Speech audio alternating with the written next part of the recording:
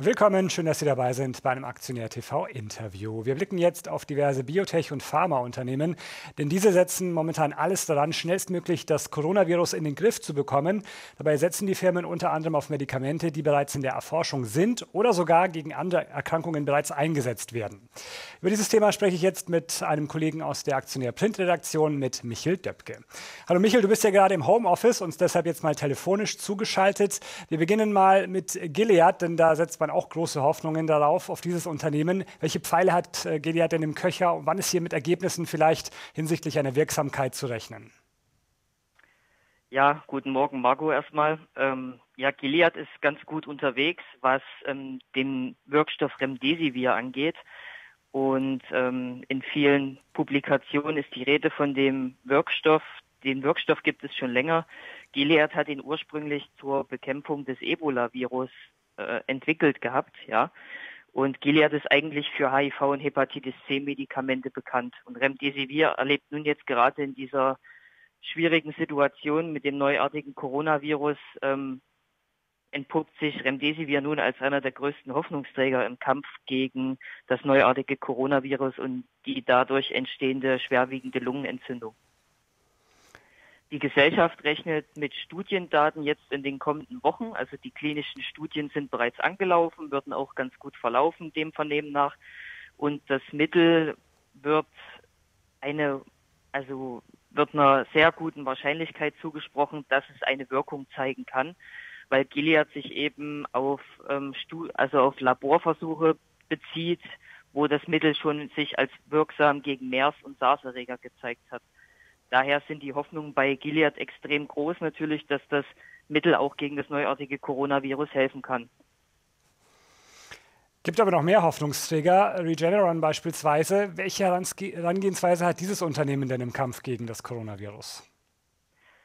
Regeneron fährt mehrgleisig. Also Regeneron hat beispielsweise mehrere hundert virusneutrale Antikörper entwickelt und entdeckt. Ähm, die möchte äh, Regeneron nun in die Massenproduktion überführen und dann auch klinische Studien mit dieser Cocktailtherapie, wie Regeneron die Therapieform nennt, beginnen. Aber Regeneron setzt auch auf Kevzara, das ist ein probates Mittel gegen Arthritis, gegen verschiedene Formen der Arthritis. Und auch dieses Medikament möchte Regeneron nun einsetzen und klinische Studien zur Bekämpfung des neuartigen Coronavirus durchführen.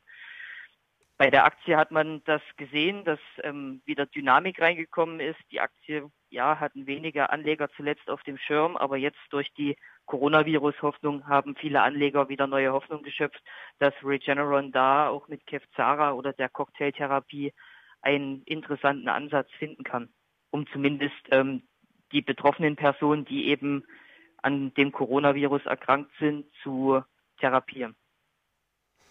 Aber neben diesen Medikamenten für die bereits Erkrankten wird ja auch intensiv an Impfstoffen gegen das Virus überhaupt geforscht. Mit CureVac und BioNTech, da stammen zwei der großen Impfstoffhoffnungen sogar aus Deutschland. Wie stehen denn die Chancen hier vielleicht auf einen baldigen Durchbruch? Ja, das ist richtig. Gerade die Tübinger CureVac, die stand sehr in den Schlagzeilen zuletzt. Angeblich habe Trump Interesse bekundet. Das Unternehmen selbst hat daraufhin dann ähm, gesagt, dass es das nicht gibt und hat das dementiert. CureVac ist aber nicht börsennotiert. Es gibt aber, wie du schon angeschnitten hast, ein börsennotiertes Unternehmen aus Deutschland, nämlich BioNTech, die ebenfalls große Hoffnungen ähm, verbreiten, dass sie das Virus in den Griff bekommen können und gegebenenfalls auch einen Impfstoff entwickeln können. BioNTech setzt dabei auf BNT 162, so heißt der Produktkandidat, den BioNTech da in der Pipeline hat.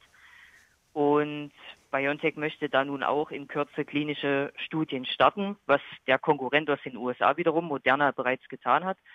Und ähm, BioNTech hat bereits sogar Kooperationspartner für den potenziellen Impfstoffkandidaten gegen das neuartige Coronavirus gefunden. Zum, also für, für China konnte BioNTech ähm, Fosun Pharma gewinnen als Kooperationspartner und außerhalb von China konnte BioNTech Pfizer aus den USA als Partner gewinnen. Und dass natürlich bereits nach so kurzer Zeit zwei solche namhafte Partner bei BioNTech an der Tür angeklopft haben, werten wir als sehr positives Zeichen beim Aktionär und daher haben wir auch große Hoffnung in BioNTech, dass das Unternehmen durchaus einen Impfstoff auf mRNA-Basis gegen das neuartige Coronavirus entwickeln kann. BioNTech setzt aber nicht nur auf einen Impfstoff. Die Gesellschaft hat auch angekündigt, dass man an einem therapeutischen Ansatz arbeitet für bereits infizierte Patienten. Und da wollte die Gesellschaft in den kommenden Wochen weitere Details bekannt geben. Und die Aktie ist ja förmlich zuletzt durch die Decke gegangen, konnte sich binnen weniger Wochen vervielfachen, die BioNTech-Aktie, und zählt eben neben CureVac und der amerikanischen Moderna zu den wohl aussichtsreichsten Impfstoffherstellern derzeit im Kampf gegen das neuartige Coronavirus. Michael, dann vielen Dank für heute. Das war es erstmal, aber wenn es Neuigkeiten gibt, sprechen wir uns gerne wieder. Danke, Marco. Ja, liebe Zuschauer, das war's für den Moment. Unser kleines Update von diversen Biotech- und Pharmaunternehmen in diesen Corona-Zeiten. Schön, dass Sie dabei waren. Bis zum nächsten Mal.